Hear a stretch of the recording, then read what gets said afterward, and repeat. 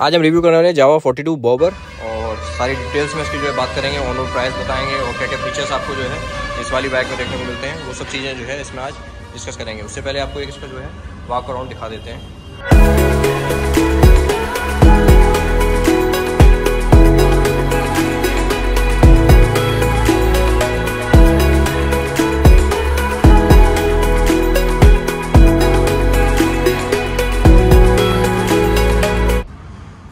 है एक तरीके से आप इसको जो है क्रूजिंग में भी यूज़ कर सकते हैं और आप जो है सिटी राइड एक तरीके से सिटी राइड बाइक आप कह सकते हैं।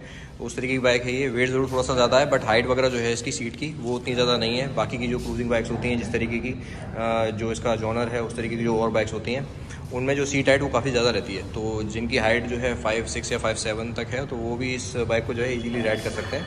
हाइट जो है सीट की उतनी ज़्यादा नहीं है। अब देखिए, इसके इंजन स्पेसिफिकेशन की बात कर लेते हैं तो 334 सीसी मतलब कि साढ़े तीन सौ सी का इंजन आपको जो है इसमें देखने को मिलता है। कर्व वेट की बात करें तो 185 केजी कर्व वेट आपको जो है इसमें मिलता है। सिक्स स्पीड मैनुअल ट्रांसमिशन के साथ ये आती है 30 बीएचपी की पावर मिलती है 32.74 न्यूटन मीटर का टॉर्क जो है आपको इसमें देखने को मिलता है। व्हील बेस की बात करेंगे तो आपको चौदह सौ पिचासी एम का जो है यहाँ पर व्हील बेस देखने को मिलता है। सीट हाइट की बात करेंगे तो 750 एम जो है सीट हाइट आपको यहाँ पर देखने को मिल जाती है। हैं साइड में आपको जो है, इस तरीके का देखने को मिलता है। वर्टिकल पोजिशनिंग इंजन जो है आपको इसमें दिया जा रहा है। माइलेज की बात करें तो कंपनी क्लेम करती है थर्टी के का माइलेज जो है, ये बाइक आपको निकाल के देगी। अब इसके फ्रंट लुक की बात कर लेते हैं तो फ्रंट में आपको जो है कुछ इस तरीके का सेटअप देखने को मिल जाता है। एलईडी हेडलाइट्स आपको जो है इसमें मिल जाती हैं यूएसडी फोक्स इसमें देखने को मिल जाते हैं। उसके अलावा रिम की बात करेंगे तो इसमें आपको जो है नॉन अलॉय का ऑप्शन दिया गया है। वैसे इसमें अलॉय का ऑप्शन भी जो है अवेलेबल है। टायर की बात करें तो यहाँ पर जो है आपको सी के टायर दिए जा रहे हैं। टायर प्रोफ़ाइल आपको 100 बाई 90 18 इंचेस के जो है टायर यहाँ पर आपको प्रोवाइड किए जा रहे हैं। इसके अलावा यहाँ पर टर्न सिग्नल्स की बात करें तो एलईडी टर्न सिग्नल्स यहाँ पर जो है आपको देखने में, देखने को मिलते हैं। एक बार आपको जो है ऑन करके दिखा देते हैं। यहाँ पर जो है आपको इग्निशन स्विच मिल जाता है लिक्विड कूलिंग का सिस्टम मिल जाता है रेडिएटर दिया गया है और यहाँ से जो है आप हैंडल को लॉक कर सकते हैं। तो इग्निशन स्विच जो है एक बार ऑन करते हैं इसका। डुअल एग्जॉस्ट सिस्टम आपको दिया गया है साइलेंस इस तरफ़ भी है, उस तरफ़ भी है, ये ब्रेक पैडल आ गया, ये फुट रेस्ट आपके आ गए इंजन की प्लेसिंग आ गई। फ्यूल टैंक पे आपको जो है यहाँ पर जावा की बैजिंग मिल जाती है। 13.2 लीटर की फ्यूल टैंक कैपेसिटी यहाँ पर आपको देखने को मिलती है। सिंगल सीटिंग ऑप्शन है, लेकिन आप चाहें तो पिलियन के लिए भी जो सीट है वो आप इंस्टॉल करवा सकते हैं। आफ्टर मार्केट आपको जो है सीट अवेलेबल दी गई है। और डुअल इसमें आपको डुअल चैनल ए जो है देखने को मिलता है। रियर की बात करें तो यहाँ पर आपको टेल लैंप मिल जाती है और टर्न सिग्नल्स मिल जाते हैं। नीचे की तरफ़ आपको रिफ्लेक्टर्स देखने को मिल जाते हैं।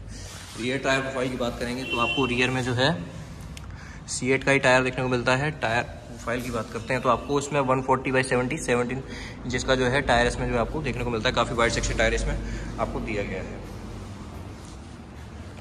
और एक फीचर जो है, इसमें मुझे काफ़ी अच्छा लगा है। यहाँ पर मोस्टली uh, बाइक्स में क्या है आपको यहाँ पर यूएसबी का फीचर तो दिया रहा है बट uh, यहाँ पर जो है टाइप सी का ऑप्शन भी दिया गया। तो सी टू सी जिनके चार्जर जो है टाइप सी टू सी हैं तो उनके लिए जो है काफ़ी बढ़िया चीज़ है जैसे कि सैमसंग के जो प्रीमियम फ़ोन्स होते हैं या फिर आईफोन्स जो हैं तो उनके लिए जो है ये चीज़ काफ़ी ईजी हो जाएगी। तो यू जो दोनों चीज़ें इसमें दी गई हैं यूएसबी और सी ये जो है काफ़ी सही फीचर दिया गया है। उसके अलावा digital fully digital meter round shape में आपको जो है देखने को मिलता है न्यूट्रल और ये जो है ए की इंडिकेटर आप देख सकते हैं फ्यूल फ्यूल की वार्निंग जो है यहाँ पर आप देखने को मिल जाती है, यहाँ पर आपकी गियर पोजिशन देखने को मिल जाती है। छः गियर जो है सिक्स स्पीड गियर बॉक्स आपको इसमें देखने को मिल जाता है।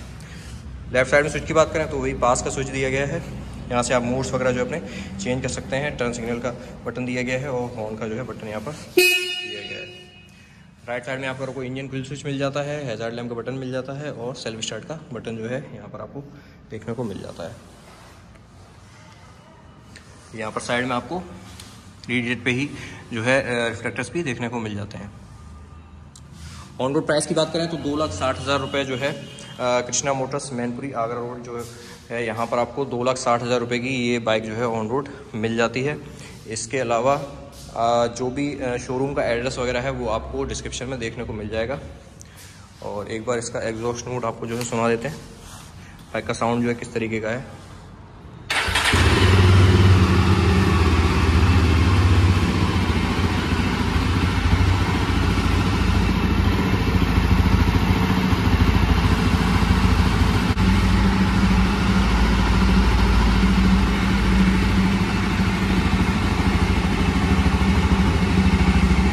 ये था हमारा जावा पेरा का रिव्यू होपफुली आपको जो है ये बाइक पसंद आई होगी. और अगर आप फिजिकली इस बाइक को देखना चाहते हैं तो आप जो है शोरूम पर आकर ज़रूर विज़िट कर सकते हैं. बाकी एक बार आपको फिर से याद दिला देते हैं शोरूम के एड्रेस की डिटेल्स जो हैं, वो सब आपको डिस्क्रिप्शन में देखने को मिल जाएँगी. आप आकर जो है यहाँ पर विज़िट कर सकते हैं. और बाकी आप किस बाइक या कार का रिव्यू देखना चाहते हैं, आप कमेंट सेक्शन में बता सकते हैं. मिलते फिर नेक्स्ट वीडियो में. तब तक के लिए जय हिंद.